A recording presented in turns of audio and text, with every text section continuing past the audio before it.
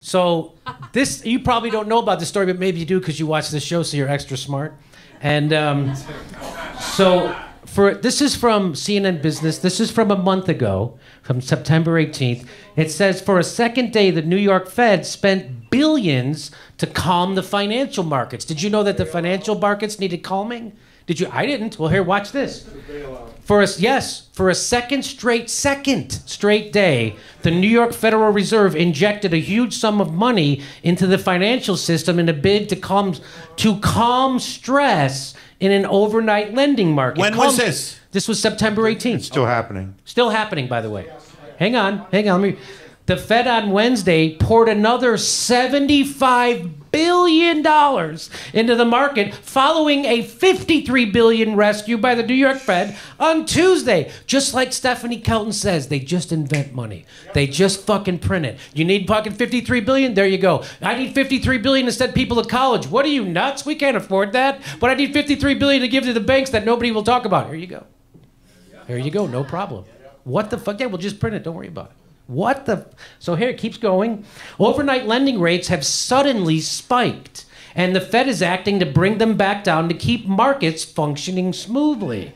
Until this week, get this: the Fed hadn't launched an operation like this since 2008.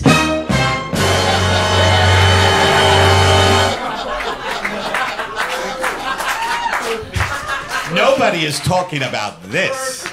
Come on, how about a little kudos for me doing the sound effect?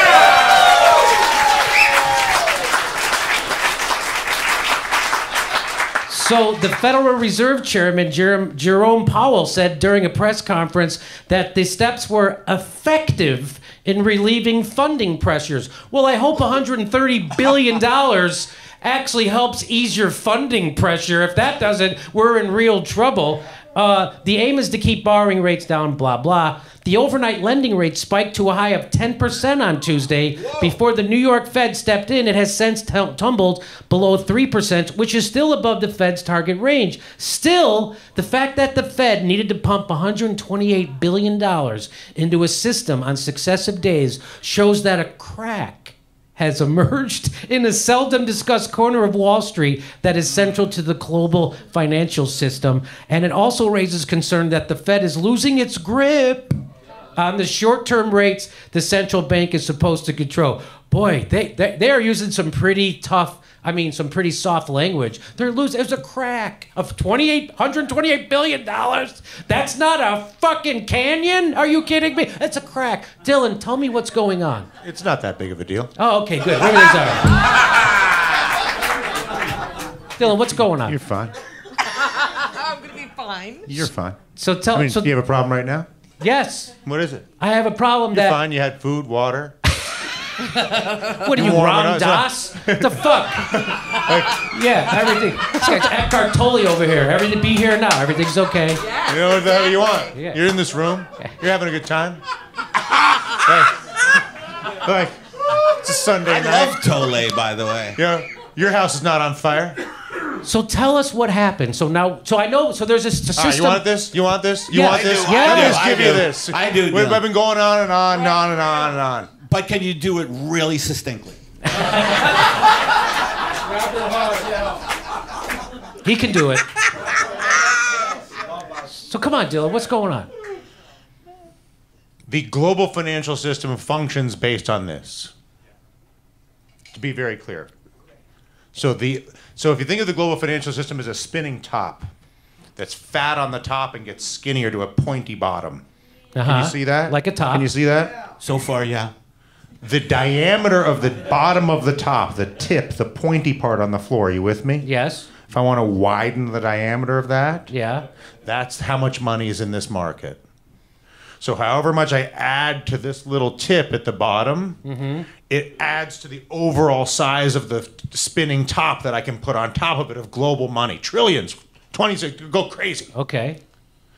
When the, mar- when the rates spike in this market, what they're saying is the overall size of the financial top that is the spinning leverage of every bank in the world and every mortgage and business and ticket and whatever, anything, is maxed out.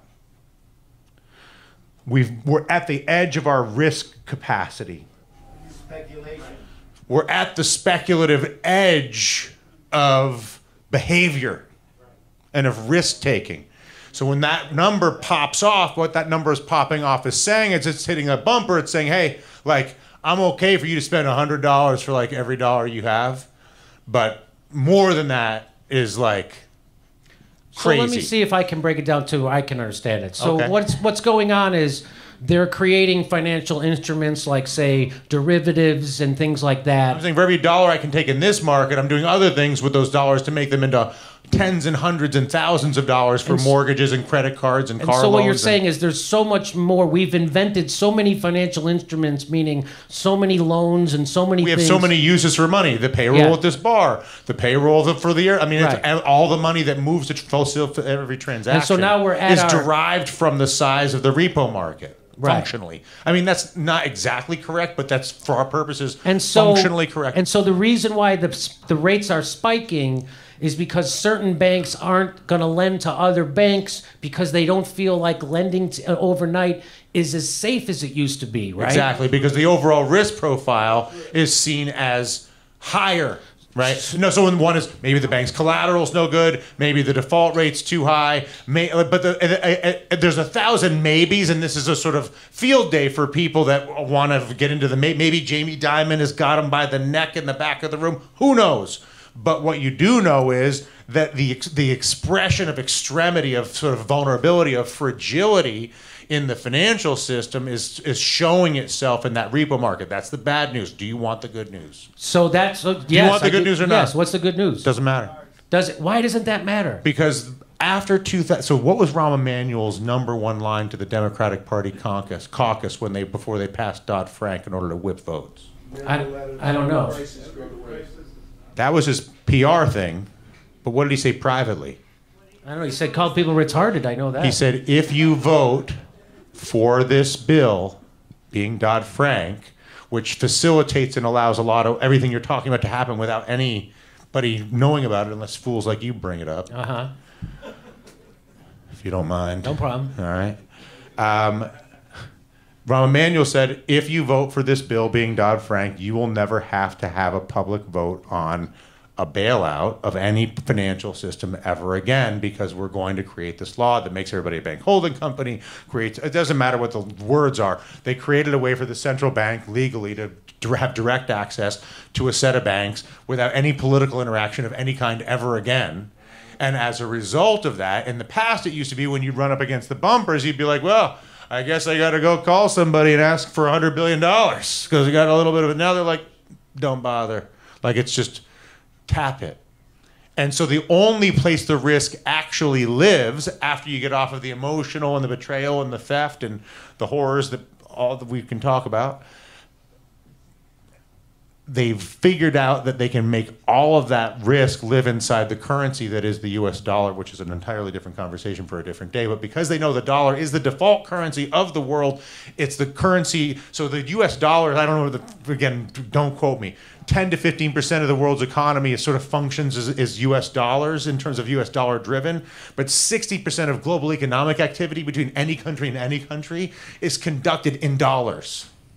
So if you're Belgium and you're trading chocolate with with Brazil, you're going to trade that in a dollar denominated currency, a bunch of Belgian, not, not in euros versus real. I mean, it's a whole nother. So the point is because the dollar is the dominant currency, we can make as many as we want, which would take you to your Steph- Stephanie Kelton conversation, and do whatever we want with it until the dollar does what the pound did or the peso did or whatever, which is why then people get maniacal. You're some of the people in this audience, I believe, I feel some maniacal energy coming from them. And they're concerned about the potential, this currency dynamic, but that could take 50 years, so just don't worry about it. Really? So the ATMs are going to work tomorrow. Oh, yeah. yeah. So let me ask you this. So let me ask you this, Dylan. Dude, So it's- that's no problem. Dylan, so let me ask you this. So if this, I mean, It's easy to get upset about. But so if this, they fixed it. if they didn't have this rule that Rahm Emanuel engineered, Well, not, I mean, again, he that he was a whip for votes Yeah. for it. He didn't. Chris Dodd, Barney Frank was really essential in this. I mean, so if there wasn't this Dodd Frank legislation, the whole point of this law was to eliminate the need to go to the politicians ever again for money. so there, so we'll never have another Open TARP. the line so that when we'll never the have TARP again. Everybody's a bank holding company. This commercial paper funding facility is intact. I don't want to list a bunch of words. It doesn't even matter. So- yes, they put together an arrangement that allows them to Okay. directly inject capital, so that you never have, so that they never have to do have. Look at this guy's face. Right. Look at him. He's pissed the fuck off. I know, I am too. I'm like do this. you like? Do you think they want to deal with him in a vote? So- Fuck so- no. so- so they're like, we'll just do this on the backside before Party Boy in West right. and then over on Sunset shows up with that face. So, so what? not so gonna let me- like it. So, Dylan, let me just ask this question. So, if they they didn't have, did. if they didn't have this rule or d- this thing that Dodd Frank, They didn't create this classification of banks. and if they didn't do That's that, what it is. So they could right now we would have be having a crisis, and we would have Because to the have a- banks would have to say, We hey, need a- hey, hey, hey, hey, we need 130 billion dollars set me overnight. up. And then they'd be like, no, no, what'd you do? So What there'd do be you- this would be what do like you-" 2008 all over again with Barack. I, I mean, I'm not going to say that it's going to be like that. but it would be. I mean, it could be. Yeah. It will be. Okay. So there no, it never been- will be because the law ensures it never will because you're never going to have the hiccup. Oh, Imagine a wow. car. So here, so li- listen. Let me just. Then I'm going to stop. I'm done. I know. I really am done. No, we're done. We got to go. We're but what done. I'm saying is, bef- the financial system before 2008 was a car without suspension, and so when it hit a hole, it had to go and get.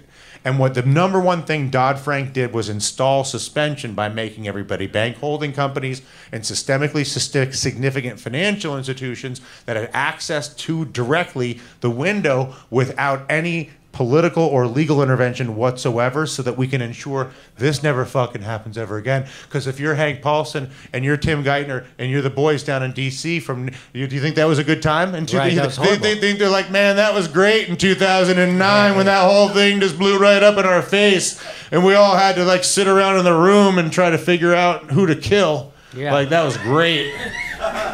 or they're like, man, that kind of sucked. So Well, you know, I hear that. It's all in the currency now. It doesn't matter. Jo- Enjoy yourself. What Dylan just said, I hear in the deli every day.